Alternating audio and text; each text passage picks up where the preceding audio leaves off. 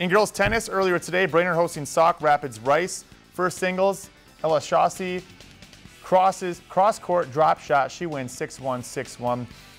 Next court to first doubles, Bryn Folden and Lily or Lila Collins. Folden at the net for the smash. Folden and Collins cruise 6-1, 6-0. Second singles, Taylor Rule versus Gray Roush. Gray Roush and charges the net.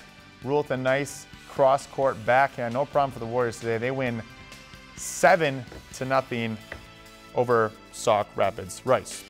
Lakeland News is member supported content. Please consider supporting Lakeland News today.